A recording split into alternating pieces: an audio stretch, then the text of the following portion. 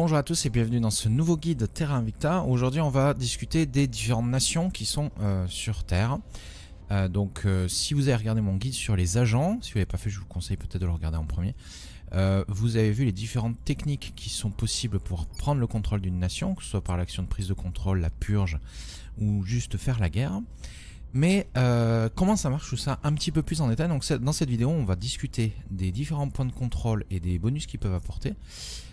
le, fonctionnement de cette fenêtre en général et euh, surtout des priorités. Euh, que font les priorités euh, Comment fonctionne cette répartition de l'investissement Et ensuite, on va discuter aussi de, des relations internationales, des alliances, des rivalités, des fédérations. Donc on parlera beaucoup de l'Union Européenne à ce moment-là parce que c'est la, la meilleure... Enfin, il y a aussi l'Union Eurasienne si on veut. Euh, mais bon, l'Union Européenne sera très bien pour ça. Discuter un peu des fédérations et des, unifications. Euh, et euh, comment tout ça fonctionne et quelles sont les stratégies qui peuvent être déployées pour prendre le contrôle du... Enfin, pour, pour, pour, faire, pour être le mieux possible en termes de factions. Donc on va, on va se baser sur les États-Unis pour, pour commencer. donc du coup, je voulais, je voulais quand même parler un petit peu de stratégie de démarrage de partie. J'en ai touché un mot un petit peu dans bien débuter une partie je voudrais quand même faire un overview de vraiment toutes les stratégies euh, d'ouverture qui sont vraiment très sympas. Euh, vous pouvez essayer d'attaquer directement euh, par les US. Donc en début de partie, vous allez avoir des personnages qui n'ont pas assez en persuasion pour pouvoir prendre les US probablement directement. Parce que par exemple, si on essaie avec... Alors elle, elle a même pas opinion publique. Vous voyez? J'ai vraiment pas fait un bon rôle avec cette partie que je viens de lancer. Donc on a juste 0%, on, est qu'à 3% de succès avec un coup d'influence monstrueux. Donc c'est même pas la peine. Et ici on a un officier qui a même pas opinion publique. Donc euh, un des premiers trucs à faire avec eux, avec cette partie, ce serait de recruter des gens qui nous permettraient de faire euh, augmenter l'opinion publique. Ça nous donnerait des bonus pour le contrôle de nation. Mais euh, vu que le niveau de difficulté vis-à-vis -vis des pays est déterminé principalement par, le, si vous voulez, la puissance économique du pays, euh, donc si on regarde là, on est à du 27,2 à cause de la taille de l'économie nationale. Le Canada est quand même un petit peu plus facile. Le Mexique est, euh, d'ailleurs plus difficile. Ah oui, mais c'est parce que lui, il a... Ah, on a plus de soutien populaire au Canada. D'accord. Euh, donc du coup, Canada ou Mexique vous permettra d'appliquer suffisamment de pression sur les États-Unis pour essayer d'en prendre le contrôle et vous aurez un bonus pour la prise de contrôle des euh, différents points de contrôle. Les États-Unis ont euh, une très bonne science pour un début de partie, pas mal de boosts. Ils sont pas les premiers, les premiers c'est Baïkonour avec les Russes, mais ils sont les deuxièmes basiquement. Hein. Euh, pas mal de contrôle de mission aussi, donc ça sera utile un peu plus tard dans le jeu, mais en tout, tout, tout début de partie, mais assez rapidement pour faire un petit peu de l'industrialisation de l'espace, ça va être utile. Euh, le problème, on va dire, avec les US, c'est qu'ils commencent un peu agités, donc ça, il faudrait le stabiliser assez rapidement. Polariser, donc ça, il faudrait augmenter l'unité un petit peu. Et avec pas mal d'inégalités, donc ça, il faudra aussi le réduire, parce que ça permettra de mieux stabiliser la nation et de maximiser euh, le reste. Donc ça, on en parlera tout à l'heure sur comment on fait ça, en fait. Euh, ils sont les premiers en termes de technologie militaire, ça c'est extrêmement important. Et ils ont la plus grande armée du monde avec 6 euh, euh, divisions et toutes elles ont une marine qui leur est attachée. Alors la marine qui est attachée à une division leur permet de se déplacer sur la mer basiquement. Et vous avez cette information ici qui s'appelle liberté des mers qui pour les US a une valeur de 27. Et comment ça marche? C'est que par exemple, si les US devaient être en guerre avec la Russie par exemple, la Russie n'a une liberté des mers que de 3,7 et ils ont une division, je crois celle-ci, celle-ci, qui a euh, une, marine qui lui est attachée. Et en fait, la nation qui a la plus grosse liberté des mers euh, bah, peut déplacer ses troupes sur la mer, basiquement. C'est-à-dire que les autres peuvent pas euh, emprunter la mer, alors que celles qui a la liberté des mers peuvent. Et les US ont la plus grande liberté des mers de début de partie. de, la partie, après ça, ça s'augmente en investissant dans dans l'investissement dans d'autres marines, construire une marine là. Mais ça coûte extrêmement cher ce truc. Mais c'est important pour avoir une meilleure flexibilité, pour pouvoir envoyer ses troupes euh, de, des corps expéditionnaires. Alors une, explication rapidement sur les armées aussi, c'est qu'en fait chaque territoire, si vous voulez, a euh, une capacité à se défendre lui-même. Et d'ailleurs, quand vous avez un territoire avec une région économique importante, euh, ça, va, ça va être considéré par le jeu comme étant beaucoup de combats urbains et du coup les défenseurs ont des, gros, des gros bonus euh, de défense. Et ensuite, pareil, si vous attaquez dans les montagnes, donc là il faudrait afficher par exemple le terrain. Euh, vous l'avez ici, le terrain. Euh, mais après, vous le voyez là, il y, a cette, petite icône là-haut, c'est marqué solide en tout cas. Elles sont deux fois plus longues à traverser pour les armées et offrent d'importants bonus de combat aux armées défensives. Donc du coup, ces territoires peuvent être très durs à prendre. Si vous envoyez une seule division, il y a des chances qu'elle se fasse vaincre. Euh, il ne faut pas hésiter à en envoyer deux euh, pour, euh, pour prendre des territoires. et du coup, chaque territoire a, des défenses, donc, évidemment, en fait, toutes les nations ont des, armées, même s'ils n'ont pas des corps expéditionnaires. Et du coup, ces divisions qui sont modélisées dans le jeu sont des corps expéditionnaires, c'est-à-dire les, divisions que, la nation peut se permettre d'envoyer en dehors de ses frontières pour pouvoir essayer de, bah, d'attaquer d'autres pays. Quoi. Euh, donc voilà, donc du coup les US, euh, excellente nation avec laquelle commencer, probablement première dans la liste. Euh, deuxième nation slash groupe de nations, c'est l'Union Européenne. un petit peu plus facile à y rentrer parce que chaque pays est un petit peu plus faible, mais le problème c'est que les autres factions vont, vont faire beaucoup de concurrence dans la zone. on va parler tout à l'heure des fédérations des unifications, c'est là où l'Union Européenne est extrêmement puissante, c'est-à-dire qu'une fois qu'on arrive à unifier toute l'Union Européenne telle qu'elle existe en début de partie, donc vous avez tous les différents pays avec l'Europe de l'Est, etc une fois unifiée, elle, peut avoir la plus grosse quantité de recherche euh, de la plupart des pays du monde, hors développement à long terme avec des conseillers, bien sûr, parce que euh, avec votre développement des priorités ici, vous allez pouvoir euh, focaliser le développement d'une nation pour essayer de booster la, la, recherche, par exemple, qui est produite. Mais unifier l'Europe, énorme boost, parce que très démocratique sur quasiment tout le territoire. Technologie militaire un peu inférieure à celle des US euh, et beaucoup moins de divisions disponibles. Donc même si vous avez à rattacher l'Angleterre, ce qui n'est pas compliqué à faire, vous avez que deux divisions en début de partie. donc ce qui est beaucoup moins que les US quand même. Et, mais par contre, leur niveau de technologie, c'est le deuxième euh, dans la partie, puisqu'ils sont à 4,3. Alors que si on compare par exemple la Chine, sont qu'à 3,8, l'Inde sont aussi à 3,8 et les Russes sont à 3,7. Donc 4,6, 4,5 pardon pour les US, 4,3 pour, euh, pour les Européens. Donc c'est pas pas trop mal pour, pour ça parce qu'en fait cette technologie là de tech militaire, elle prend énormément de temps à progresser. Et elle a un cap maximum, par exemple actuellement le maximum est de 5, mais avec le développement de nouvelles technologies qu'on va rechercher dans le jeu, on peut augmenter ce niveau maximum de 0,5, quelque chose comme ça. Mais le truc, c'est que ce truc va augmenter de 0,003 par 3 points d'investissement. Et ça, on en parlera juste après plus en détail, mais euh, c'est très long. C'est très très long à faire progresser. Et donc avoir les US ou la France euh, permet de plus rapidement débloquer des niveaux de technologie plus avancés. Alors petit fun fact, c'est que cette image-là, c'est l'image des, des, armées d'air de l'information. Ça, c'est l'image des armées air atomiques.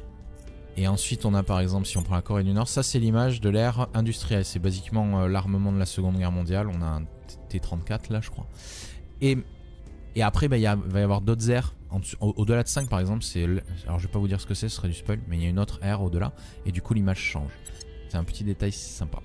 Euh, ensuite, en termes de nation qui est assez sympa aussi, c'est l'Inde. Parce que l'Inde a un énorme potentiel avec euh, une population gigantesque. Euh, et du coup, pour l'instant, moyennement très moyennement développé, euh, mais qui peut vraiment être boosté très vite pour booster ce PIB par habitant, tout en essayant de garder les inégalités assez faibles, pour booster énormément le PIB, augmenter le nombre de points d'investissement et faire s'envoler cette recherche euh, très très haut, ou juste même l'économie si vous ne voulez pas le spécialiser dans la recherche. Et l'autre grand pays évidemment, c'est la deuxième superpuissance qui elle aussi a beaucoup d'armées mais un petit peu moins avancée technologiquement, c'est la Chine. Sauf que la Chine va être un peu plus dure à prendre que les US parce que elle va avoir un coût à cause de son de sa puissance économique qui va être qui va être plus élevé, il me semble. Ouais, parce que vous voyez, l'US c'est 22 milliards de, enfin 22 000 milliards de PIB. Là, c'est 26 000 milliards. Donc, euh, bon, déjà en plus, l'opinion publique de l'académie est très très élevée.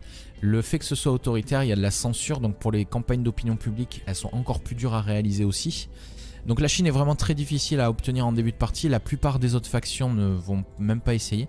Mais par contre, l'avantage qu'elle a, qu'il y a sur cette stratégie, c'est qu'il y a beaucoup de pays limitrophes qui peuvent être pris, qui ne coûtent pas cher et euh, qui permettent d'appuyer euh, de la pression euh, grâce au point de contrôle pour augmenter les chances de réussite d'une prise de point de contrôle.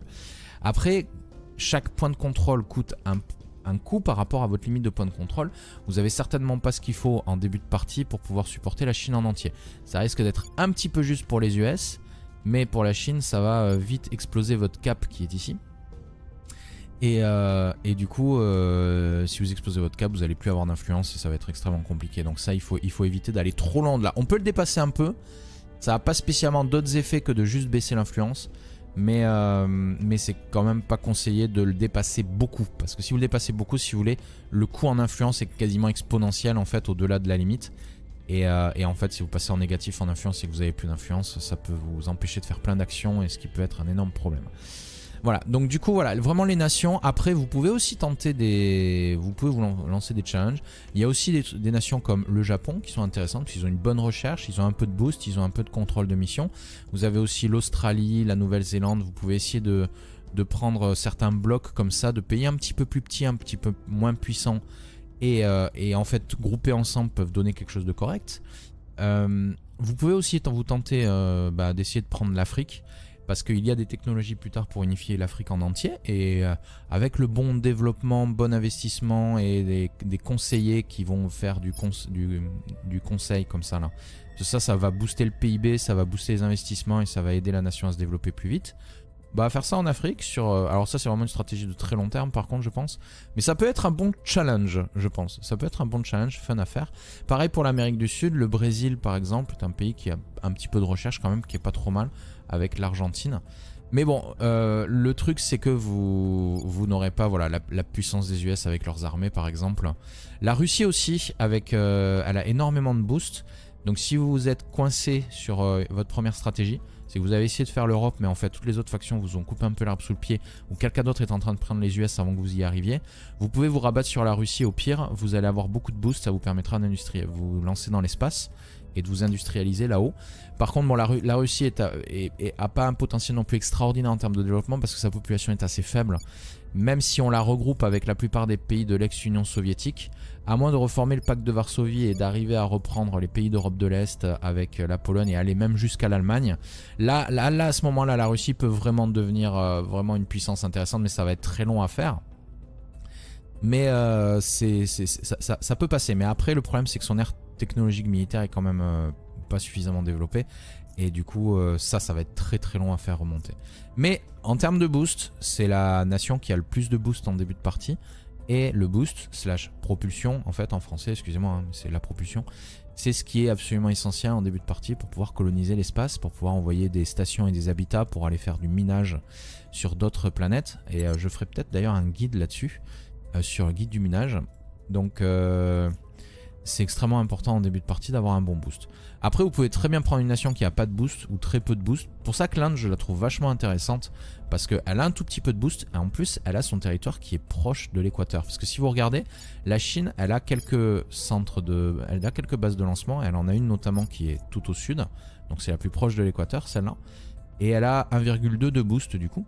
Alors que l'Inde, elle n'a que 0,1, mais elle a sa base, bon, qui est au sud ici, mais en fait, je pense que le jeu je sais pas comment exactement il calcule. Mais au plus tu es proche de l'équateur, au plus à chaque fois que tu investis la propulsion, le nombre de points que tu récupères pour ça sont élevés. Donc le meilleur emplacement en termes de boost, c'est Kourou, en début de partie, qui est ici avec un niveau 13,5. Euh, et, la France du coup obtient 1,1 de, de, boost grâce à ça. Donc c'est pour ça que la France est aussi vraiment une excellente partie Hein, bande de chauvin. Si vous avez envie de jouer, faites-vous plaisir, vous pouvez prendre la France, pouvez unifier toute l'Union Européenne avec elle et, euh, être extrêmement bien développé. Voilà, donc ça c'était un petit peu pour les, les différentes stratégies d'ouverture. Après vous pouvez jouer comme vous en avez envie. Vous pouvez, alors vous pouvez pas partir en Antarctique parce qu'il n'y a personne. Mais vous pouvez vraiment après jouer comme vous en avez envie, euh, si vous voulez vous faire un truc roleplay ou quoi que ce soit. Mais si vous avez envie sur votre première partie de vous faciliter un petit peu les choses pour pouvoir affronter ce qui vous attend, je vous conseille les US euh, ou peut-être essayer l'Europe. Mais l'Europe, c'est quand même plus dur à faire que les US. Les US, c'est vraiment le plus facile, on va dire, à, essayer d'avoir. Voilà. Euh, ensuite, du coup, on va discuter un petit peu de développement économique. Donc, cette fenêtre-là, un peu compliquée à comprendre sur le coup. On va avoir donc l'aperçu au global. On a en haut souvent quelques petites informations. Alors ça, ça va dépendre de la région. Donc par exemple ici, on voit que cette région a beaucoup, elle est pleine de ressources. Donc les régions pleines de ressources, elles vont servir pour tout ce qui est butin. Les régions ici qui est pleine de ressources aussi. Non, c'est vulnérable sur le plan écologique. Elle souffre. Donc il va y avoir des dégâts environnementaux, par exemple, dû au réchauffement climatique, ou dû au fait que les gens se soient balancés des bombes nucléaires dans la gueule. Et euh, certaines régions vont être plus vulnérables, donc perdre plus de PIB ou avoir des problèmes, parce que les populations du pays à son ensemble sont réparties entre les différentes régions. Pareil pour la plupart de ces statistiques économiques, sont réparties entre toutes ces régions. Euh, donc le niveau, de le niveau de gouvernement. Alors déjà, un bouton extrêmement important, c'est les politiques nationales qui sont ici. Si vous passez la souris dessus, parce que si vous voulez faire en sorte qu'un pays fasse une certaine action, comme euh, déclarer une guerre, vous avez besoin d'envoyer la mission choix d'une politique nationale. Et pour ça, vous devez contrôler le point de contrôle de l'exécutif. Et vous allez faire une politique nationale. Et donc, plutôt que de lancer la mission et voir après que en fait, vous pouvez pas faire l'action, vous passez la souris ici et ça vous donne les politiques qui sont disponibles. Et on voit que là actuellement il y a euh, plusieurs mois de, deux mois de délai d'attente pour la plupart des actions, parce qu'en début de partie, la plupart des pays commencent avec un, délai diplomatique, parce que toute action diplomatique va avoir un délai euh, qui peut être réduit avec certaines technologies, mais genre je crois en début de jeu qui va être de 6 mois, mais par contre par exemple pour, les fédérations, je crois que c'est un truc comme 2 ans. Euh, là c'est un peu long, mais on en reparlera un petit peu tout à l'heure avec les fédérations. Donc on va voir le niveau démocratique. Le niveau démocratique, ça va impacter la stabilité, la cohésion nationale et euh, la croissance économique, l'efficacité de l'armée pour réduire l'agitation. Et euh, ça, impacte énormément de choses et notamment aussi la recherche. Donc ce qui est désirable, c'est d'avoir un niveau démocratique plus élevé euh, afin de, pouvoir développer une nation plus efficacement. Ensuite, on a le niveau d'agitation. Le niveau d'agitation va euh, principalement déterminer la difficulté pour les, euh, pour les différents agents d'essayer de réaliser des coups d'État dans le, dans le pays. Après, euh, ça, ça, nuit aussi au développement économique. Et si jamais l'agitation vraiment monte au max, et je crois que le max c'est 10, à ce moment ça devient une guerre civile et en fait le, le pays subit une révolution. Donc en fait, lorsqu'il y a une révolution, tous les points de contrôle sont redistribués entre euh, les factions euh, en fonction de leur euh, opinion publique.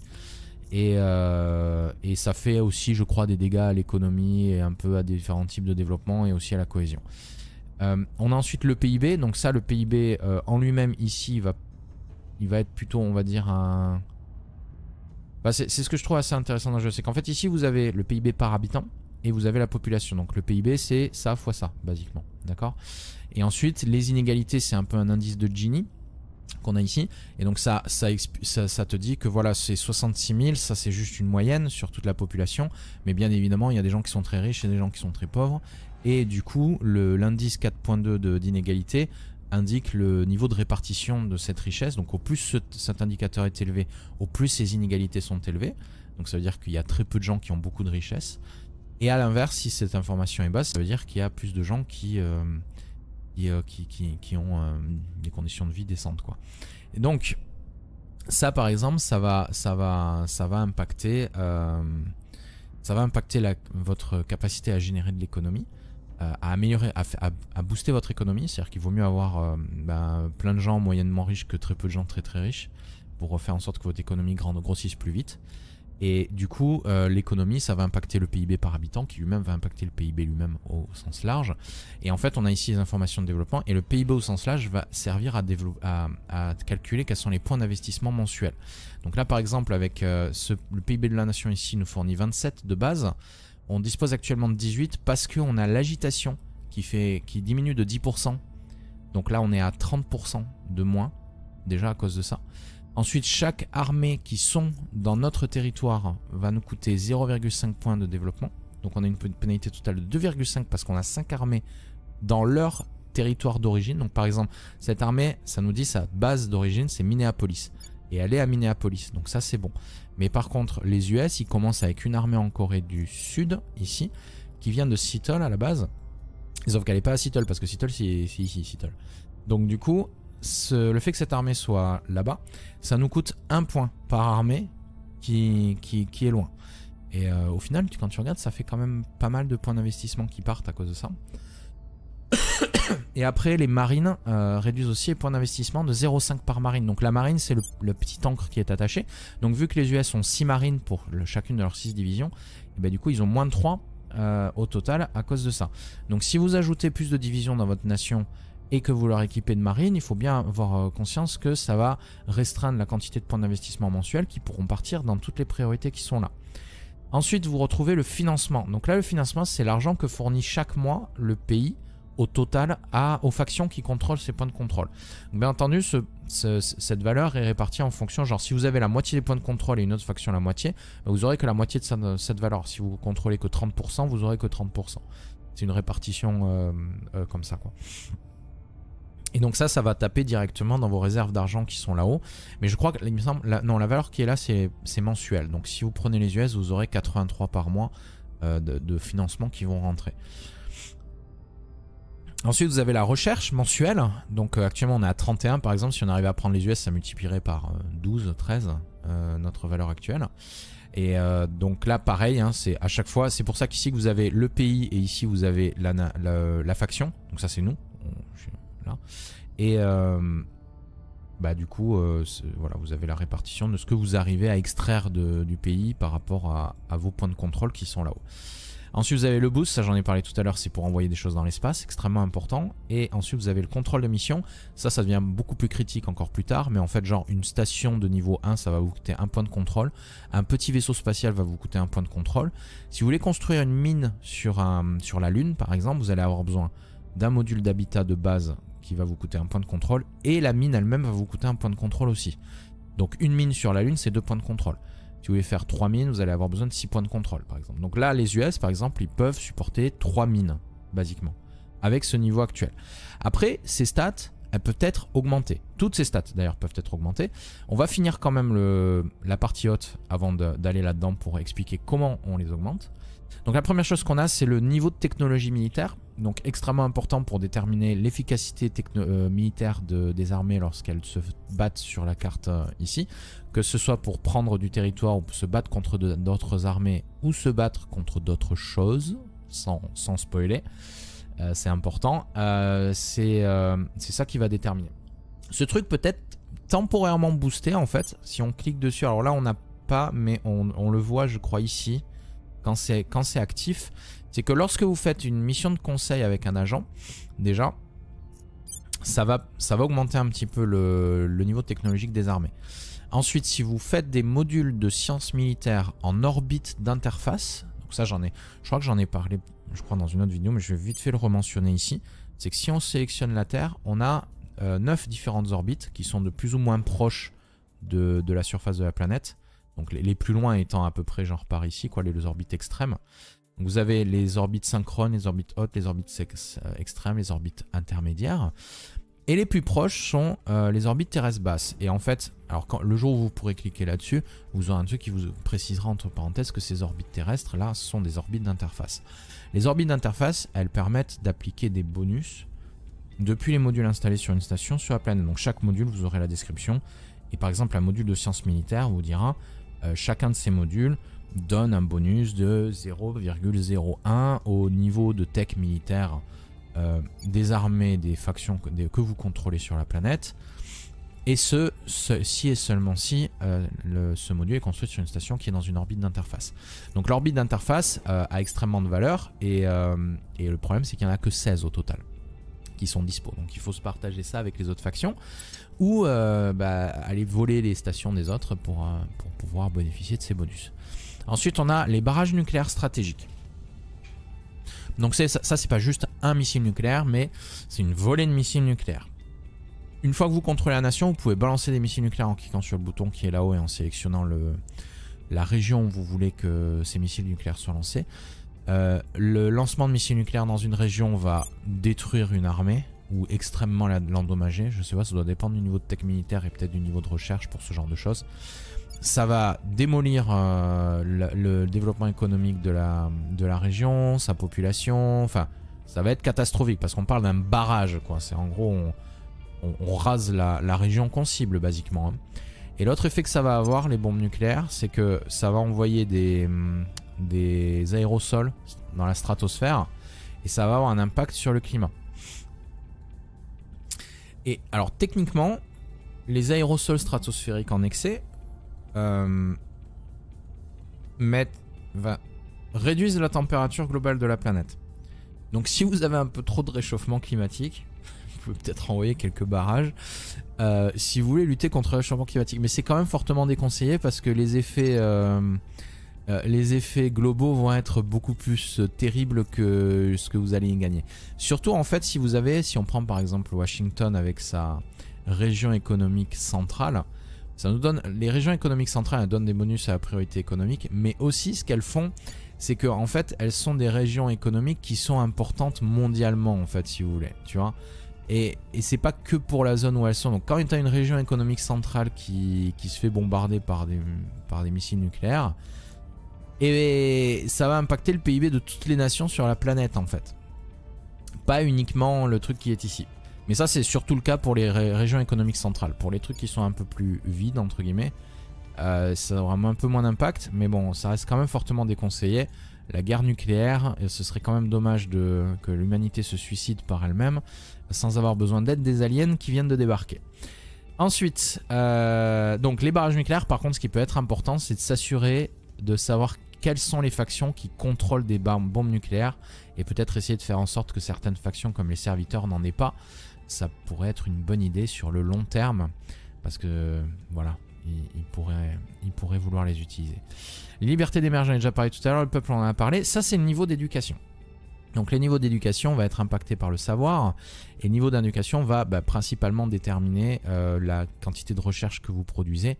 Donc en gros ça ça représente l'éducation voilà c'est le nombre moyen d'années de scolarité d'un citoyen de cette nation. Euh, les nations avec les valeurs d'éducation les plus élevées produisent plus de recherche et sont plus résistantes à la propagande extrême mais obtiennent moins de cohésion de la priorité unité. Donc lorsque vous avez une nation qui est très très éduquée, ça devient un petit peu plus difficile de l'unifier en termes de cohésion. Mais d'un autre côté, euh, en fonction de la quantité de pop, en gros c'est ça. Alors c'est pas multiplié directement, mais c'est la combinaison de la population et du niveau d'éducation qui va vous déterminer la quantité de recherche que vous générez. C'est pour ça que l'Inde et la Chine, mais surtout l'Inde à mon sens, parce que l'Inde va assez vite dépasser la Chine dans le jeu en termes de population en plus. Bon après la Chine est déjà à 328, c'est pas mal, mais l'Inde est à 209, c'est pas si loin derrière. Mais si vous arrivez à tirer ça vers le haut, multiplié par 1 milliard 400 millions de personnes, ça peut vite faire beaucoup beaucoup de recherches et être vraiment super bien. Euh, donc voilà, donc l'éducation va aider à déterminer le niveau de recherche que ça produit. La cohésion, alors ça, ça représente le fait que votre nation est fracturée ou unifiée, en fait. Euh, alors, en termes de roleplay, vous, vous, le voyez comme vous voulez, hein, euh, on s'en fout. Mais ça peut vouloir dire qu'effectivement, vous avez différents groupes qui se haïssent et qui se, qui se, qui se battent presque dans la rue. Alors on n'est pas non plus, parce que ça c'est plus l'agitation, si vous voulez, si ça se traduit réellement par des conflits au sein de la société ouvert. Mais la cohésion va représenter un peu peut-être l'uniformité, l'uniformité idéologique ou autre que idéologique dans le pays. Donc, les, ah, bah, par exemple, un pays comme la Chine commence complètement dominé à 8. La Russie est à homogène à 7, par exemple. Euh, par contre, l'Inde est polarisée. La France aussi, je crois. Non, elle est compétitive. Donc, le, niveau idéal, c'est le niveau 5, si vous voulez. C'est le niveau divers.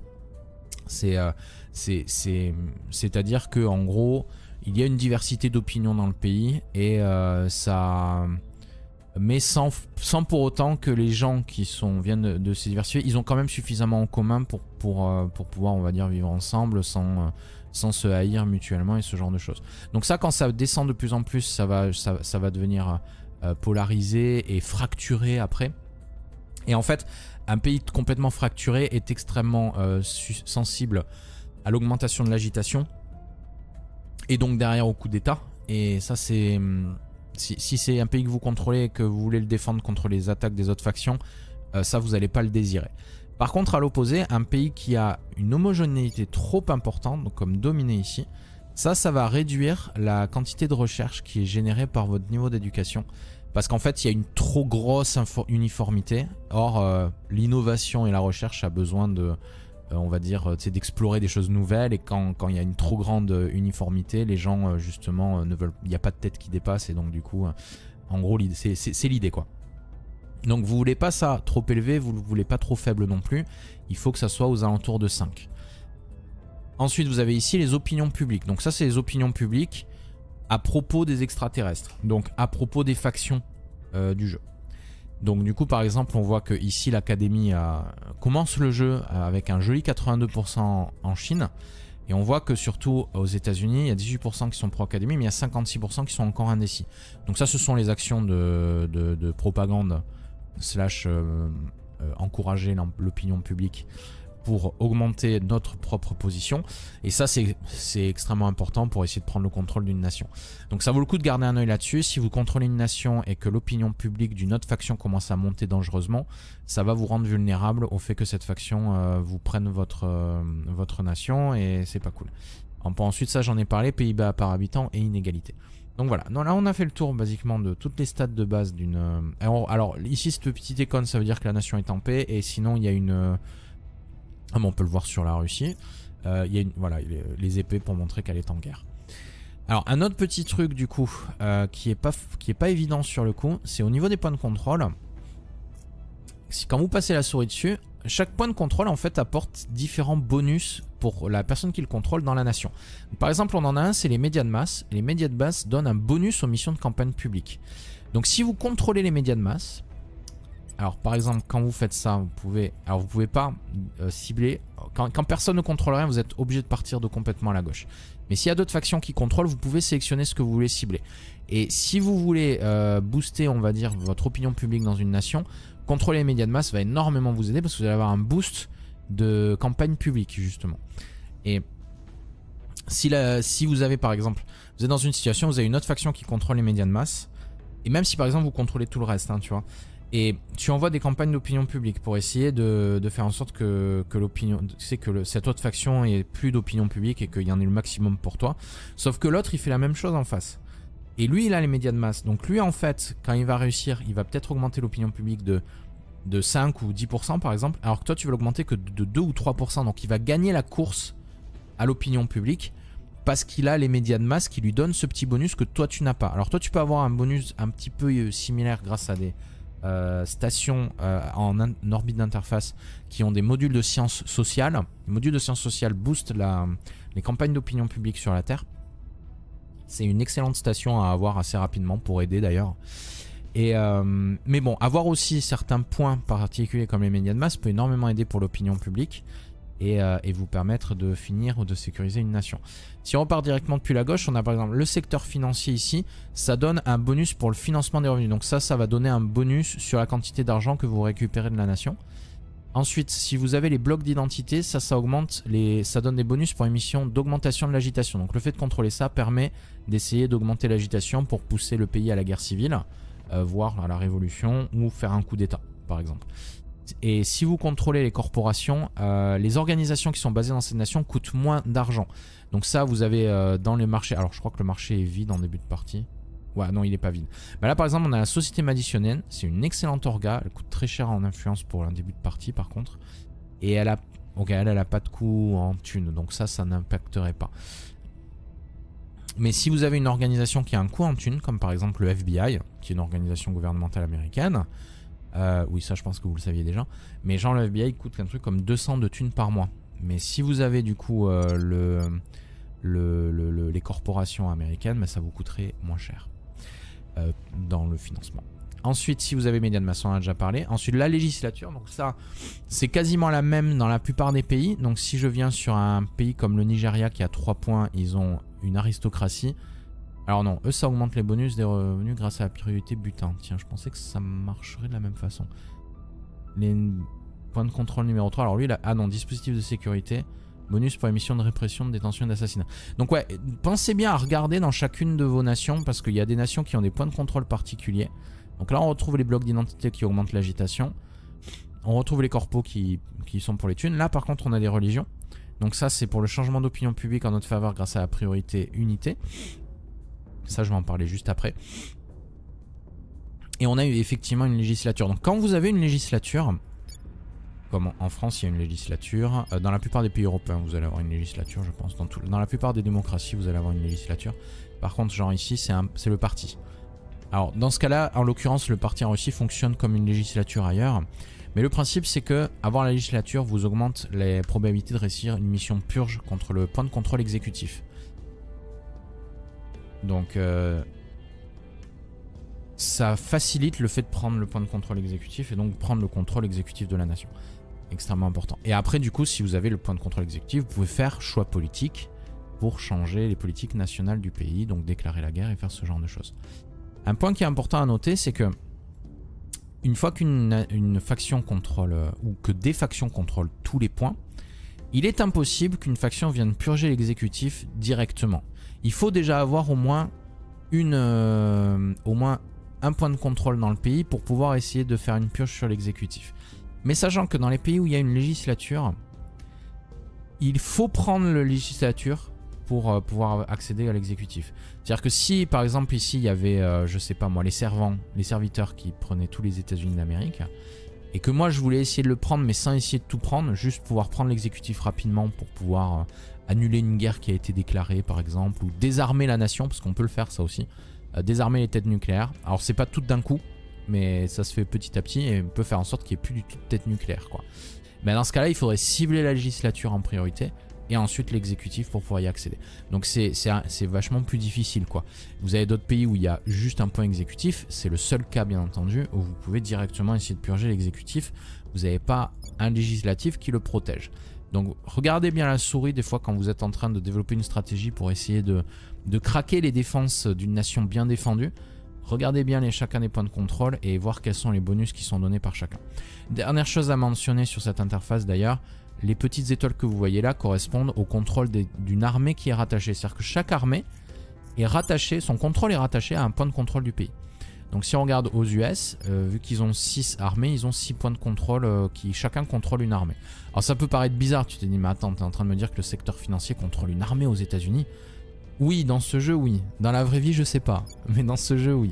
En France, il y a une seule armée de dispo. Elle est donc contrôlée directement par l'exécutif. Et en général, si vous prenez un pays qui n'a pas d'armée, la première qui va apparaître va être contrôlée par le point le plus à droite. Puis ensuite, ça va aller le point à gauche. Puis ensuite, le point à gauche. Et ensuite, la suivante va revenir et encore et encore et revenir et encore et encore. Parce que vous pouvez avoir plusieurs armées contrôlées par un point. Donc la faction qui contrôle le point contrôle les armées qui y sont associées.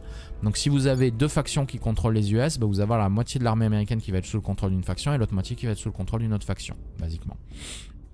Voilà, donc ça, ça explique euh, vraiment pour les points de contrôle et toutes les statistiques qui sont ici. Maintenant, alors du coup, on retrouve ici le résumé des armées. Ici, on a les priorités. Ici, on a les différentes régions qui sont considérées euh, comme faisant partie de la nation.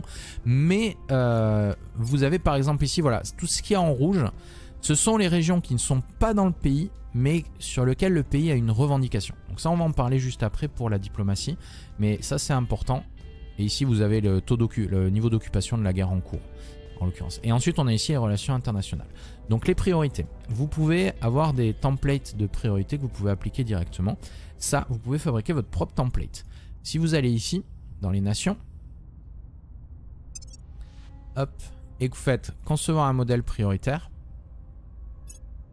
voilà, vous dites, je veux appeler ça utopie, et euh, vous dites, bon ben moi, pour moi, mon utopie, c'est de balancer des thunes dans l'économie, euh, dans le bien-être pour réduire les inégalités, surtout dans le savoir pour développer la recherche, peut-être un petit peu d'unité, un peu de militaire, mais ça, ça va dépendre des nations, parce que les nations qui n'ont pas d'armée, il vaudra peut-être mieux pas le mettre, et c'est tout. D'un autre côté, si vous voulez dire euh, tiens je veux je veux uniquement extraire du butin, je vais mettre 100% là-dessus. Voilà. Et en fait, vous en avez qui existent déjà. Vous voyez, vous avez des prêts, vous avez beaucoup, beaucoup, beaucoup de trucs qui existent déjà. Donc si vous dites tiens, je veux appliquer une logique communiste par exemple, donc c'est beaucoup de militaires, beaucoup d'extraction du butin. On pouvait ne pas être d'accord avec ça. Euh, très peu d'investissement économique et un, peu plus en bien-être quand même, ils sont sympas. Si on part sur marxiste par exemple, ou totalitaire, tiens. Voilà, totalitaire, là, c'est beaucoup d'unités, donc pour booster la cohésion, etc.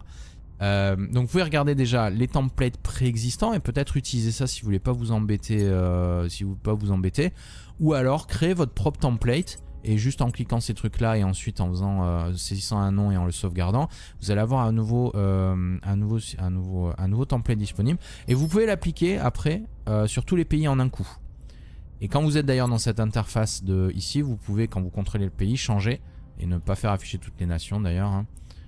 Euh, alors là, là, je peux pas le décocher parce que je... Ah sinon, c'est bon, il n'y a rien pour l'instant parce qu'on contrôle rien ici. Mais vous allez ici, vous pouvez changer la priorité. Donc la priorité vous permet d'appliquer un profil euh, directement. Parce que d'ailleurs, je vais pas pouvoir cliquer ici, euh, vu qu'on contrôle pas le pays. Mais voilà, donc chaque, chacune de ces colonnes correspond à un point de contrôle qui est là-haut. Donc si vous contrôlez ce point de contrôle et qu'une autre faction contrôle tous les autres, bah, l'autre faction va décider de toutes ces priorités-là et vous, vous allez pouvoir décider que de ces priorités-là. Donc les différentes priorités, c'est l'économie. Donc vous avez ici une valeur. Alors c'est pas super clair au début, la première fois que j'ai vu ça, j'ai pas très bien compris. Vous avez une valeur ici.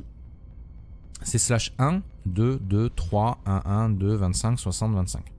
Donc fabriquer une armée c'est cher, fabriquer des armes nucléaires c'est c'est correctement cher. Euh, si on prend par exemple l'Iran qui n'a pas encore de programme nucléaire parce que ça c'est à zéro, bah, la première affaire elle coûte 80. Excusez-moi. La première affaire elle coûte 80. Mais les autres après, elles ne coûtent que 25. Donc c'est-à-dire que c'est plus difficile d'initier le programme nucléaire, on va dire, de faire la première bombe mais après, arriver à en faire d'autres, c'est beaucoup plus rapide. Et construire une marine, c'est le plus cher, par contre, ça coûte 100. Euh, et, voilà. Et sachant que construire une marine, ça va augmenter, comme j'ai la liberté des mers. En plus de donner une certaine liberté. Donc d'ailleurs, tu vois, les, US, ils peuvent pas construire de marine parce qu'en fait, toutes leurs armées euh, ont déjà une marine qui est rattachée. Parce que tu ne peux que rattacher une marine à une armée, en fait. Donc si on prend par exemple, on revient sur l'Espagne. L'Espagne n'a pas d'armée euh, de corps expéditionnaire disponible. Donc elle a pas de truc de marine, elle a juste construit une armée. Donc il faut qu'elle construise une armée en premier. Et ensuite il y a une nouvelle ligne qui va apparaître, construire une marine. Et d'ailleurs plus tard dans le jeu, vous allez avoir d'autres trucs qui vont apparaître aussi en fonction des recherches que vous faites. Je vous spoilerai pas pour ça, je vous laisserai le découvrir. Les points qui sont là, ça représente le coût. Et ce qui est investi là-dedans, en fait, ces pourcentages-là, c'est la répartition de la valeur des points d'investissement mensuels qui sont ici. Donc par mois, les États-Unis vont investir 18 points. Et 26% de ces 18 points vont partir dans l'économie par exemple. Donc du coup, j'imagine que ça fait plus que 1. Donc du coup, dans peut-être tous les 15-20 jours, les US vont gagner un point d'investissement dans l'économie. Et euh, par contre, à 8%, peut-être que pour le bien-être, ça va prendre un peu plus que... Voilà, ça va être plus lent, etc. etc. là, c'est assez basique à comprendre. Donc il faut que ce truc se remplisse, si vous voulez, pour que l'effet qui est associé soit appliqué à la date où le truc est rempli. Après, ça repart à 0 et hop, ça remonte à 1 et ça redescend à 0, ça remonte à 1. Et vous avez donc l'économie. Ce qu'elle fait l'économie, c'est qu'elle va booster un petit peu le PIB par habitant. Donc ça va donner 14 dollars de PIB par habitant de plus. Donc vous faites 14 fois 335 millions, ça vous donne le boost de PIB global. Euh, mais c'est surtout cette valeur-là qui va progresser. Donc c'est 14 euh, dollars 37 par un point d'investissement. Si on regarde, je sais pas moi, par exemple l'Inde, en Inde, on est à du 10,49 euh, par point d'investissement. En Chine, on est à du 12 par point d'investissement. En France, on est à du 8,73. Et, voilà. Donc ça, par exemple, comme j'en ai parlé tout à l'heure, certaines de ces, valeurs qui vont augmenter combien vous gagnez avec l'économie. Le problème, c'est qu'en début de partie, on est encore sur notre bonne vieille économie qui tourne au pétrole, on va dire, ou aux centrales nucléaires. Et chaque investissement en économie va euh, générer euh, déjà un petit peu de PIB par habitant, un petit peu d'inégalité, mais c'est genre 0,0005, donc les inégalités vont, bouger très lentement si vous voulez. Mais euh, si vous mettez pas du tout de bien-être, il n'y a rien qui va le contrer. Donc les inégalités vont faire que augmenter. Et il y a un peu, ça augmente un peu le, légèrement le taux de gaz à effet de serre dans l'atmosphère à chaque fois. Euh, donc, et il y a marqué plus bas, tu vois, c'est écrit, hein, c'est des niveaux plus élevés de démocratie et des valeurs moyennes de cohésion conduisent à plus d'innovation et des augmentations plus importantes de revenus. Donc, si vous voulez maximiser votre revenu économique, hors recherche, parce que comme je disais, vous avez des recherches et les missions de conseil des conseillers qui peuvent bien booster, mais il y a des recherches aussi qui peuvent dire, ou alors vous avez des modules, des trucs de science, de science à nouveau dans les orbites d'interface, qui vont vous marquer dans la description. Euh, construire ce truc dans une orbite d'interface va augmenter de 6% euh, l'efficacité. Donc euh, on va avoir, au lieu d'avoir 14,4 dollars, on va avoir 6% de plus, quoi. Que 14,4 par point réussi. Le CO2, donc il y, a, y, a, y, a, le problème du réchauffement climatique dans le jeu, si vous voulez. Donc on a l'anomalie de température mondiale, l'anomalie aussi au niveau des mers. Et donc ça, ça peut vraiment partir en couille si on fait pas attention. Et euh, ça a un impact sur le PIB annuel moyen, si vous voulez. Donc en fait, au plus la température augmente, au plus vous perdez du PIB. Donc du coup, votre nation génère euh, moins une économie qui est moins bien, donc elle va générer moins de science.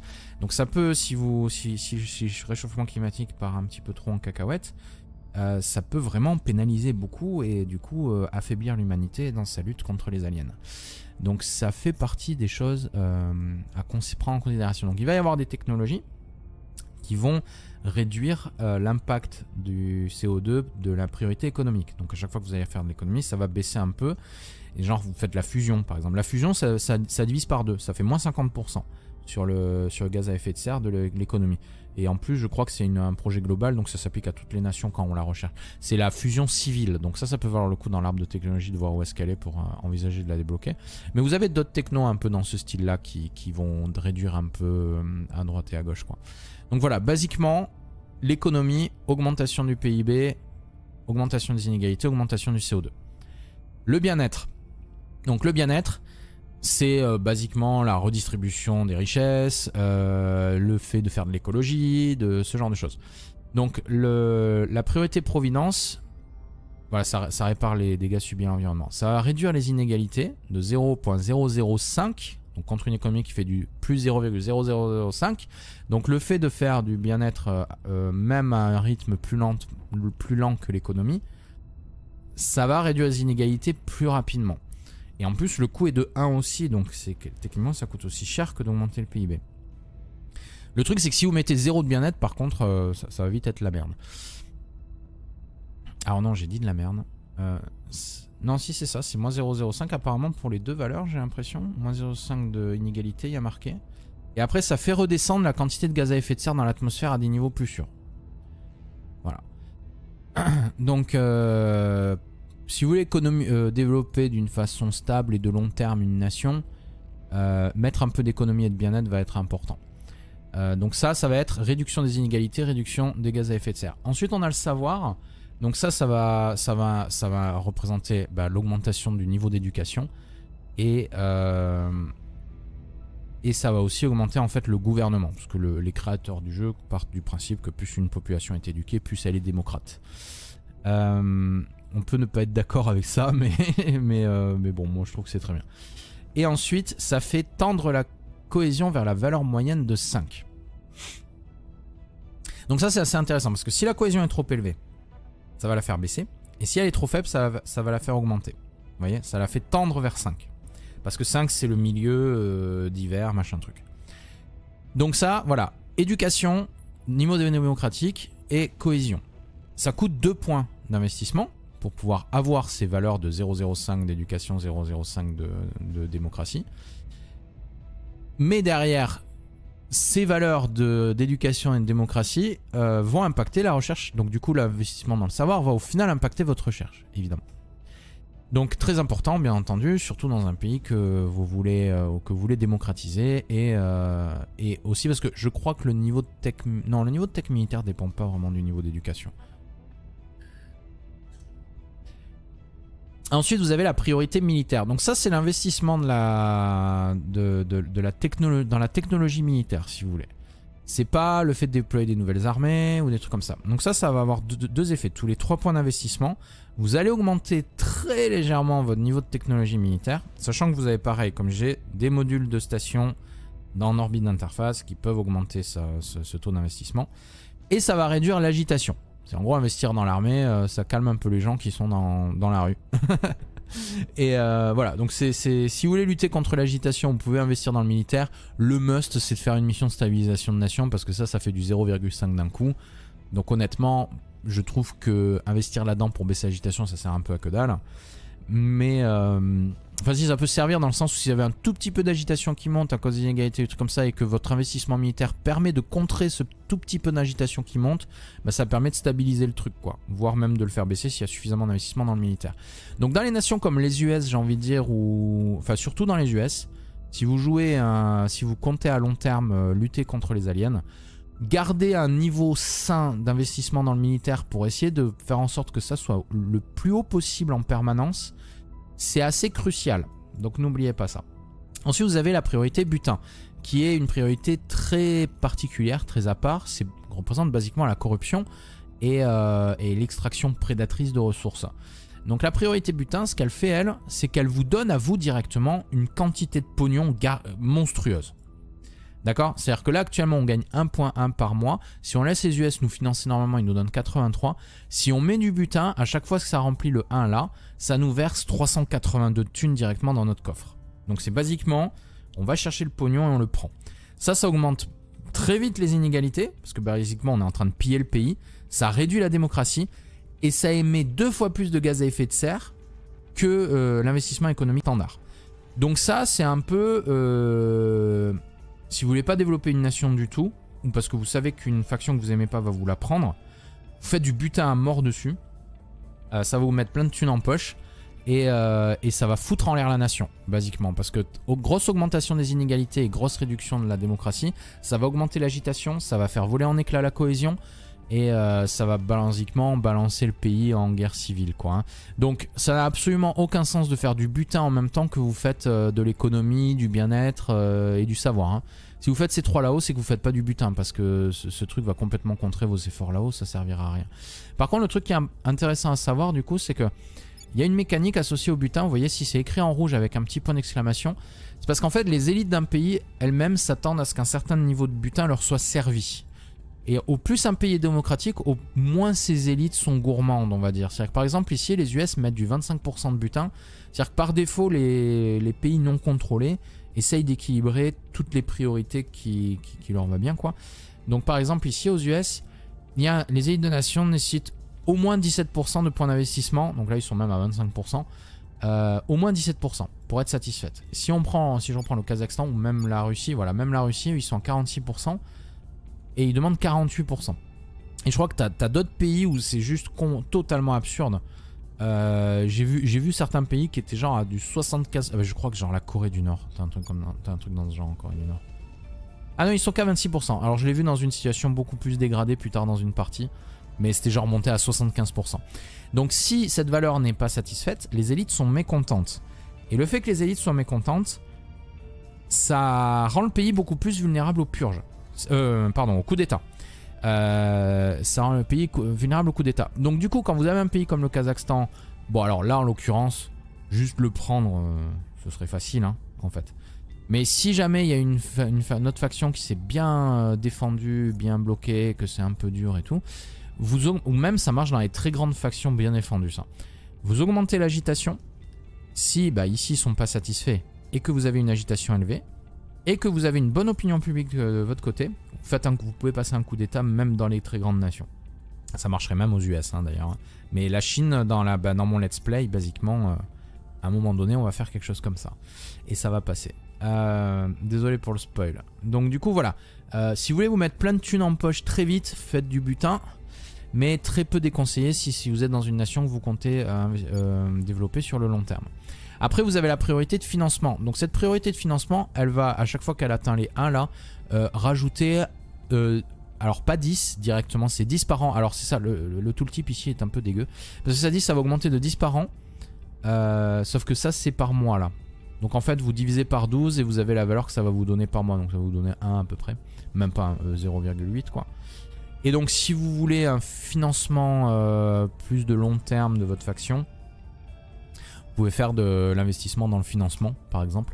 Alors sachant qu'il arrive à un stade dans le jeu où vous pouvez euh, gagner de l'argent avec des usines euh, déployées sur des stations spatiales par exemple. Euh, vous avez des organisations aussi qui donnent pas mal de thunes. Honnêtement, la priorité financement, je la trouve pas très prioritaire, personnellement. Mais ça peut être utile. Donc c'est pas comme le butin parce que ça là, ça, ça donne juste du fric, ça ne change pas les inégalités. On va dire, c'est une façon légale de vous trouver une façon légale de financer votre faction au sein du pays, quoi, basiquement.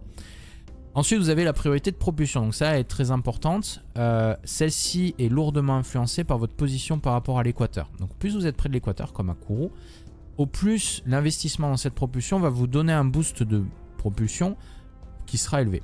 Donc euh, les investissements, alors comme ici, sont les plus efficaces. Donc si vous amusez à prendre l'Islande, ne faites pas un programme de vol spatial dessus, ça sert, enfin c'est complètement pas optimisé du tout. Ce serait gâcher de, des points d'investissement. Euh, au niveau de la propulsion, du coup, bah, la seule chose que ça fait, c'est ça augmente juste la propulsion. Ça, ça impacte pas d'autres valeurs. Donc, euh, vous n'allez pas vous prendre la tête dessus. En plus, ça prend que 2 à développer.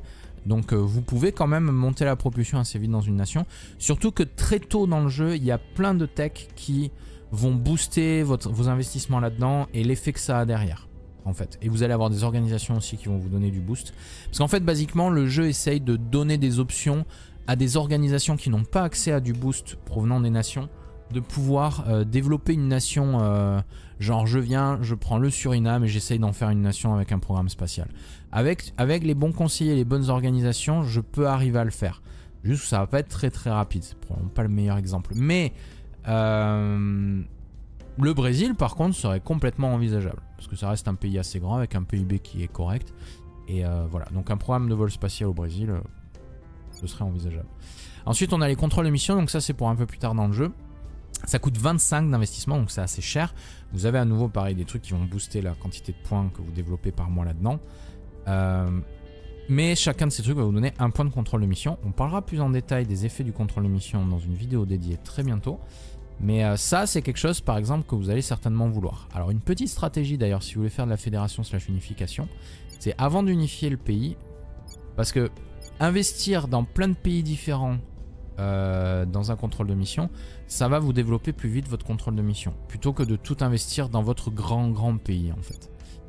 Donc si vous êtes en train, de, avec la Russie ou avec la France, euh, de former l'Union Européenne par exemple, et que de toute façon vous allez devoir attendre deux ans avant de pouvoir euh, finir d'intégrer le pays cible dans, unifié dans votre fédération, ce que je peux vous conseiller c'est si vous avez la possibilité de mettre du contrôle de mission, c'est de mettre genre 75 à 80% là-dedans alors vous, mettez des points comme là en cliquant dessus. Hein, et ça répartit au final le pourcentage en fonction de comment les points sont répartis.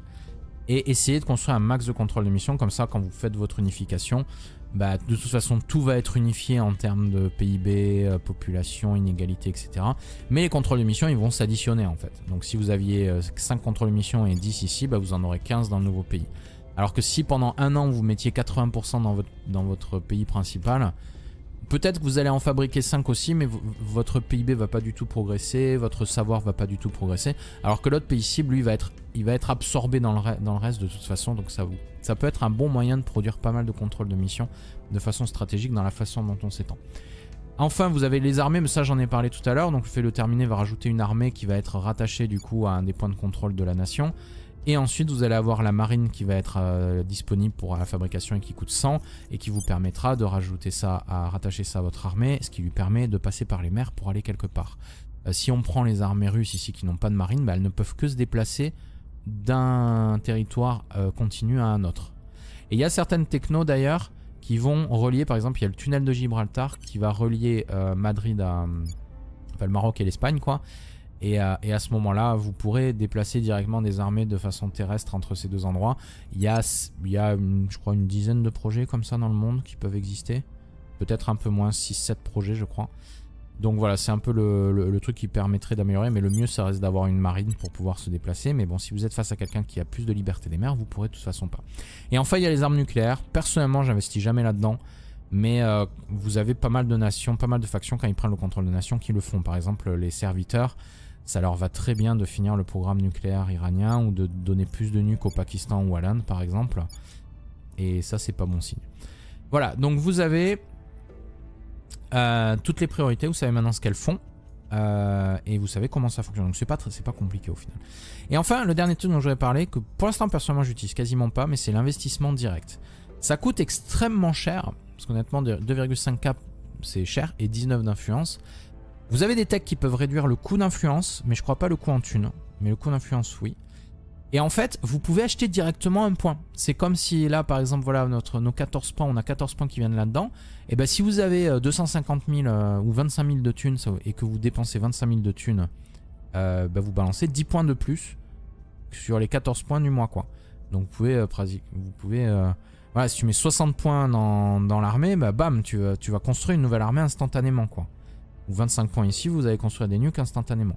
Donc euh, une stratégie potentielle, euh, ce serait de faire du butin dans plein de nations pour, pour, pour accumuler une quantité de thunes monstrueuse et garder un grand pays que, dans lequel on fait pas de butin et où on, balance les frics qu'on va pomper dans le reste de la planète pour faire de l'investissement direct et développer cette nation encore plus vite en fait.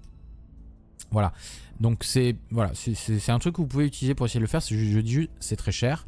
Vous avez des techs plus tard qui peuvent réduire peut-être un peu ses coûts, mais, euh, mais bon, voilà, il, faudra avoir les thunes qui vont bien en face, quoi.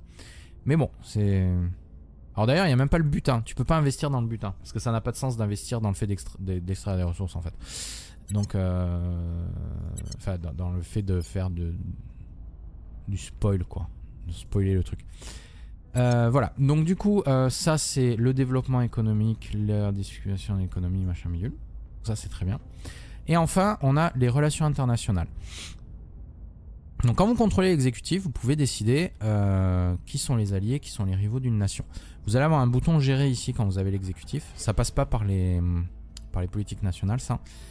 Et vous allez avoir une interface qui va vous montrer par faction les différentes nations qui sont contrôlées. Et vous allez pouvoir dire, bon, bah, ça je veux que ce soit mon allié, ça je veux que ce soit mon, euh, mon rival. Si vous voulez déclarer la guerre à quelqu'un, il faut qu'il soit en rival. Donc si par exemple vous êtes, euh, j'en sais rien, vous êtes la Russie, vous voulez déclarer la guerre au Kazakhstan, la première chose qu'il faudra faire, c'est virer le Kazakhstan de... Enfin, prendre le contrôle de Kazakhstan, je crois, pour que le Kazakhstan quitte l'Union Eurasienne. Ensuite, la Russie passe le Kazakhstan en rival. Et euh, ensuite, comme ça, elle peut déclarer la guerre. Mais le truc, c'est que le fait de sortir de l'Union Eurasienne va, mettre un, un, délai diplomatique. Donc c'est une opération qui peut vous prendre euh, au moins 6 mois, quoi. Et seulement une fois qu'il est en rival, vous pourrez alors faire la politique nationale, déclarer une guerre euh, et, envahir le Kazakhstan pour absorber le Kazakhstan parce que bah, l'Union Eurasienne slash la Russie a une revendication sur chacun de ses territoires. Euh, bon, ça c'est la façon euh, violente de le faire, on va dire.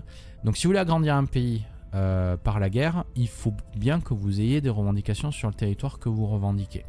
On a des revendications par exemple jusqu'ici, par contre là on n'a pas de revendication. Là non plus parce que c'était la, République tchèque. Mais tous ces pays-là, la Russie a des revendications dessus, donc elle pourrait déclarer des guerres, pas jusque-là par contre. Euh, pourrait déclarer des guerres pour prendre le contrôle. Est-ce qu'elle a une revendication au Japon? Non. Euh, voilà. Euh, ensuite, on a différents pays qui ont différentes revendications sur différents territoires, donc il peut y avoir des guerres à cause de ça. Si vous voulez faire ça pacifiquement, vous devez fédérer puis unifier. Donc là, le meilleur exemple, c'est par exemple l'Union Européenne. Donc, l'Union Européenne, si vous passez la, souris dessus, la France est la nation meneuse de la Fédération Union Européenne. Si vous prenez l'Allemagne, elle n'est pas considérée, elle est juste un membre de la Fédération. Donc si vous voulez faire l'unification, vous allez absolument avoir besoin de la France. Vous ne pouvez pas démarrer une unification de l'Europe en partant de l'Allemagne. C'est juste pas possible. Et on retrouve ici avec le petit drapeau dans le coin, ça montre tous les pays qui sont dans la fédération et à côté tous les pays qui sont alliés mais qui ne sont pas membres de la fédération. Et si on laisse la souris sur un pays, donc ça, ça va être une pop-up qui va vous donner, qui va vous être vachement utile ça va vous donner vos prérequis. C'est vrai que ça veut dire, ok, quitter la fédération il peut, unification avec la France. Faire partie de la même fédération, c'est bon. La France revendique la région capitale des États alpins. C'est bon. Alors en fait, c'est pas la France qui revendique la capitale des États alpins, c'est l'Union européenne. Et c'est là où c'est peut-être pas très clair sur le coup. Mais en fait, j'ai eu beaucoup de questions au début quand je l'ai fait sur ma partie et que les gens me disaient mais je comprends pas, tu es, dans la fédération Union Européenne mais tu es toi-même l'Union Européenne. Oui parce qu'en fait, si avec la France en tant que meneur de l'Union, d'une de, fédération, vous unifiez un pays qui contrôle, sur lequel vous avez des revendications, alors vous, en fait votre pays se transforme dans une nouvelle nation qui a le même nom que la fédération. Donc en fait, si la France unifiait le Benelux, euh, en passant par les mécaniques de fédération en tant qu'Union Européenne, alors France et Benelux deviendraient Union Européenne, en tant que nation Union Européenne, et ils seraient toujours dans la fédération Union Européenne avec tous les autres pays faisant partie de l'Union Européenne. Donc c'est un peu space sur le coup, je suis d'accord. Mais si vous voulez, une fois que vous avez fini d'unifier tous les pays qui sont membres de cette fédération, alors vous êtes juste l'Union Européenne et il n'y a plus la fédération Union Européenne, elle n'existe plus. Il n'y a plus que le pays Union Européenne si vous voulez. Et donc pour savoir à chaque fois, il suffit de passer la souris ici. Et là par exemple ils disent, voilà, il faut qu'on soit dans la même fédération jusqu'au 25 septembre 2023. Donc là on commence, on est le 1er octobre 2022. Et le jeu met un délai directement de 1 an, enfin de 11 mois en l'occurrence. 25, bah, presque un an même, parce que 25 septembre, 1er euh, octobre. Euh, donc un an avant de pouvoir faire une fédération. et ce qui risque de se passer d'ailleurs, c'est qu'une faction qui vous aime pas va prendre le contrôle d'un pays membre de la fédération, va lui faire quitter la fédération. Ce qui veut dire qu'à ce moment-là, vous devez reprendre le contrôle du pays, lui faire rejoindre la fédération, attendre un an, d'être dans la fédération pendant un an, et, euh, et puis même peut-être avant, il va falloir les mettre en tant qu'alliés, parce que pour pouvoir fédérer, il faut être allié. D'accord? Et il faut être allié depuis un certain temps en plus. Donc si vous voulez euh, foutre en l'air une fédération, c'est assez facile. Vous prenez le contrôle de quelques pays, vous leur faites quitter la fédération, vous enlevez les alliances. Et là, si l'autre faction veut reconstruire tout ça, ça va lui prendre, euh, ça va lui prendre peut-être un an ou deux. Après, il y a des technologies qui permettent de réduire ces délais de diplomatique de 20% par techno de ce que j'ai vu. Donc ça peut, enfin un petit moins 40%, ça fait passer un truc de 6 mois à 3 mois, donc c'est pas dégueulasse. Et donc du coup, voilà, vous devrez avoir première action, je fédère, ensuite j'attends X mois, ensuite hop, je peux unifier, et à ce moment-là, du coup, les deux pays sont, sont bah, unifiés, hein, tout bêtement. Et, euh, euh, euh, et, et, votre pays s'agrandit. Et du coup, ce que ça fait aussi l'unification, c'est que ça va euh, moyenner un petit peu les différentes stats de technologie militaire, les différentes stats d'éducation, de PIB par habitant, d'inégalité. Ça va augmenter aussi l'agitation, donc faites attention à ça. Il faut penser à réduire l'agitation une fois qu'on a, qu'on a fait des unifications. Le risque justement de ça, par exemple, c'est que vous avez, vous votre États-Unis par exemple qui sont à 5.3 de technologie militaire et vous voulez unifier avec le Canada parce que bon, alors ça c'est une tech qui se débloque beaucoup plus tard, mais il existe, il y a la possibilité de, fédérer avec le Canada. Sauf que personne n'a développé les technologies de, euh, militaires du Canada, donc ils sont toujours à 4,1 en fait, ou alors euh, ce que leur a mis le jeu de base, donc euh, ouais ils en ont un peu quand même. Donc imaginons qu'ils sont à 4,3 parce que nous on a balancé nos conseillers, on a tout fait pour développer les US le plus vite possible. Bah, vu que ça va un peu moyenner euh, de façon pondérée par rapport à la taille du pays, de son économie, de sa population, etc., ça va faire baisser notre niveau de tech militaire. Et ça, c'est peut-être pas quelque chose qu'on désire. Donc parfois unifié, il faut faire attention. Euh, ça peut tirer un pays très autoritaire vers le haut s'il unifie avec des démocraties, mais ça va pas le rendre soudainement démocratique non plus pour autant. Euh, ça peut tirer vers le bas sa technologie militaire, ça peut tirer vers le bas ou vers le haut du coup son éducation aussi bien évidemment. Donc ça, c'est un facteur à considérer quand on fait des unifications quand même, c'est de se dire, est-ce que le fait d'unifier avec tel pays ne va pas juste euh, vraiment aggraver plus les choses, que, les trucs qu'autre chose? À quoi sert l'unification, vous allez me dire, au global? C'est que avoir contrôlé deux pays séparément coûte plus cher en point de contrôle que de contrôler un pays unifié. C'est-à-dire qu'en fait, sur le pays unifié, chaque point de contrôle va coûter un petit peu plus cher parce que son économie vient de grandir. Et s'il atteint une certaine taille, en gros, votre Union Européenne, au bout d'un moment, elle va avoir 6 points de contrôle. Donc il y a des nouveaux points de contrôle qui apparaissent au plus un pays grandit. Jusqu'à 6 maximum, bien sûr. Donc genre, vous commencez au milieu de l'Afrique avec un pays... Alors, je, crois qu'il faut choisir certains pays particuliers quand même pour pouvoir faire certaines fédérations. Ça, c'est expliqué dans les technologies, en fait. Hein. Quand vous voulez... Euh, L'Union Africaine, par exemple, il y a marqué tel pays obtient les revendications sur tel et tel et tel truc. Donc c'est pareil, c'est en gros ce, tel pays et le leader de la fédération, comme la France est le leader de l'Union Européenne en début de partie. Donc faites bien attention à avoir le bon pays pour pouvoir faire votre truc quoi. Mais voilà, vous commencez en Afrique, vous commencez à développer à partir d'une nation qui a peut-être que deux points de contrôle et à la fin vous allez en avoir 6 quoi. Mais même si vous prenez par exemple l'Inde et que l'Inde vous juste vous boostez son économie euh, à mort, elle va avoir un sixième point qui va apparaître en fait. Parce que ça dépend du c'est une question de, développement économique de la nation qui détermine le nombre de points de contrôle qu'il y a dans la nation. Donc bien entendu, quand il y a un nouveau point qui apparaît, ben, ça fait soudainement un, 14,42 en plus qu'il faut supporter dans notre niveau max ici. Donc, au vu de comment le jeu est setup, il est impossible de contrôler plein de nations qui sont très développées. Parce que ça coûte trop cher en termes de points, même si vous montez ces points à 450 par exemple. Et euh, donc unifier certains pays qui sont unifiables, vous permet de contrôler euh, bah, plus de nations en fait. Donc c'est en, en, ça que ça sert principalement. Voilà, et donc après, euh, bon, si vous êtes en guerre, c'est ici que ça se passe. Si vous voulez euh, être en paix, c'est à nouveau ici que ça se passe aussi. pour faire la paix avec le pays, il faut que le pays cible accepte. Donc si vous contrôlez le pays cible, c'est plus facile. Mais si c'est face à une autre faction et que vous n'êtes pas forcément très opposé à cette faction, bah, vous pouvez faire la paix. et après, voilà, pour les fédérations unification, je pense qu'on a fait le tour au final. Alors il y a pas mal, ouais, il y a pas mal de délais aussi. Comme j'ai, il y a le délai diplomatique de base quand vous virez, c'est l'alliance ou la guerre ou, l'alliance ou rivalité avec un pays. Là, vous allez avoir un délai diplomatique de base. Mais le jeu vous met ainsi un délai qui dit que la cible d'une fédération, par exemple, il faut que vous déteniez l'exécutif de ce pays depuis au moins 180 jours, par exemple. donc c'est écrit là. Euh, les factions exécutives de chacune des deux nations doivent avoir pris le pouvoir par la force ou doivent avoir détenu le pouvoir depuis au moins 180 jours. Dans les deux cas. Donc pareil, que ce soit pour rejoindre une fédération ou... Euh, parce que par exemple, je pense que lui peut rejoindre... Alors il est en rival, mais... Ah ouais, non, alors s'il est en rival... Attends, il me faut quelqu'un qui soit pas en rival, s'il vous plaît. Ah, ils sont même pas en allié ni en rival. Si, toi t'es en allié. Nickel. Donc le Kyrgyzstan. Pour l'unification. Ah, mais ils sont déjà dans l'Union Eurasienne, pardon. Donc on- ils peuvent pas fédérer en plus que ça ne, ne l'est déjà. Mais voilà, euh, du coup vous allez avoir ce premier délai de 180 jours dans tous les cas, plus le délai aussi de relations diplomatiques. Donc le mieux c'est de garder un œil sur votre euh, politique nationale et voir ce qui est faisable. Et ça vous mettra un truc, fédération, candidat X, unification, candidat Y. Et, euh, à ce moment-là, vous envoyez un conseiller en, en conseil choix de politique nationale et hop, vous pouvez unifier. Et ensuite, voilà, donc ce que je voulais dire, c'est qu'en fait, qui est important, vous ne pouvez pas, euh, vous ne pouvez pas créer des revendications à volonté. Ça, vous pouvez pas dire, bon bah je suis la France et je veux avoir une revendication sur Alger, par exemple. Euh, ça, le jeu a pas, de mécanique comme pour ça. Vous n'avez pas de mission pour vos agents, vous pouvez, vous pouvez pas faire ce genre de choses. Par contre, il, y a, il existe des arbres de technologie avec des fédérations prédéfinies. Et donc, si vous débloquez ces fédérations prédéfinies et que vous lisez le texte de la, de la description de la technologie, ça va vous montrer ce que vous pouvez faire. Donc, quelles sont les nouvelles fédérations que vous pouvez faire Donc, Par exemple, on a Europe, Union Européenne de base, donc ça, elle existe dès le début du jeu.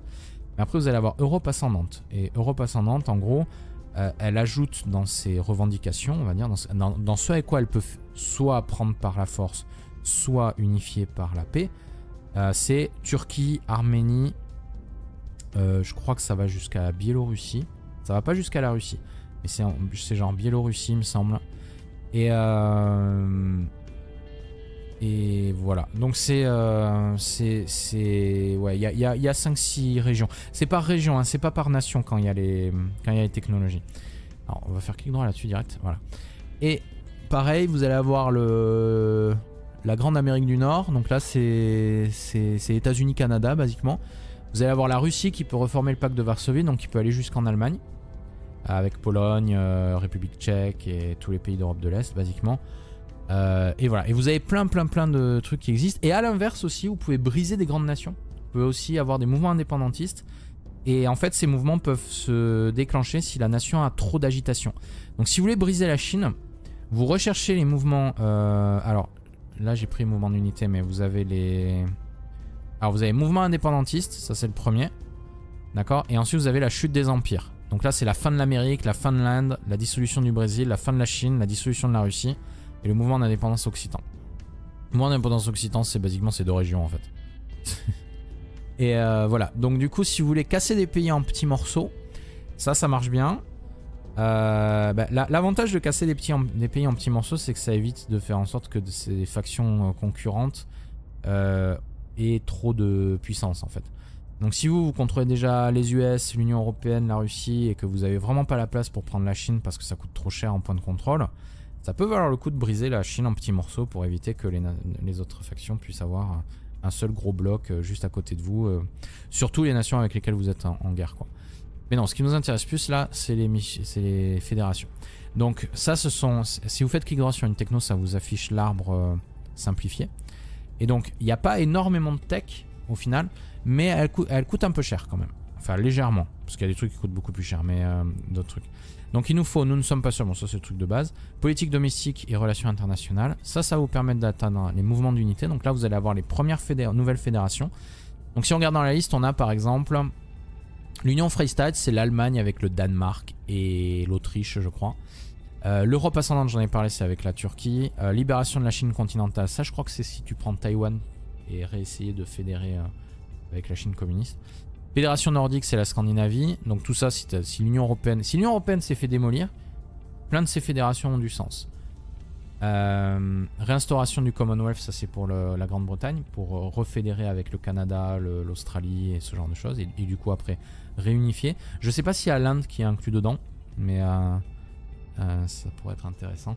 Et, euh, et voilà, Amérique centrale, Grande Colombie, etc. Et après, les grandes, grandes euh, nations, donc les super nations, c'est encore un autre niveau de technologie derrière. Et là, vous allez avoir l'Amérique du Nord unifiée, le Grand Dominion, euh, l'Union africaine, donc ça c'est normalement pour tout le continent africain, l'Union sud-américaine, toute l'Amérique du Sud, la Grande Inde, la Grande Europe, la Russie expansionniste. Donc Grande Europe, ça va jusqu'en Russie, Russie expansionniste, ça va jusqu'à l'Europe. C'est l'in- l'inverse l'un de l'autre en fait. Et la Grande Malaisie, etc. etc. Le combiné pan-asiatique. Enfin voilà. Donc là, vous avez plein de choses intéressantes à faire sur la carte du jeu. Euh, mais gardez à l'esprit que faire des grandes nations, c'est pas la seule chose qu'il faut faire dans le jeu, mais ça reste important effectivement en termes de points de contrôle et de lutter contre les autres factions.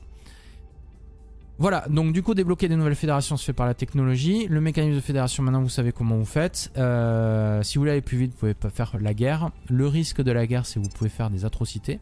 Donc faites un peu gaffe à ça. Euh, les atrocités sont affichées ici et se cumulent. Certains conseillers n'aiment pas les atrocités, ça baisse la loyauté. Et les atrocités impactent négativement euh, l'opinion publique mondiale concernant votre faction. Donc ça c'est pas génial non plus. Voilà, donc je pense que j'ai fait le tour. Si vous avez des questions, n'hésitez pas. Si vous voulez que je revienne un poil plus en détail dans un truc que j'ai expliqué parce que j'étais pas clair, n'hésitez pas à laisser un commentaire en dessous de la vidéo. Et sinon, bah, si ça vous a plu, euh, n'hésitez pas à lâcher un like, etc. Voilà. Merci à tous d'avoir suivi du coup. Je vous souhaite une excellente journée je vous dis à très bientôt pour encore un autre guide du coup. Salut à tous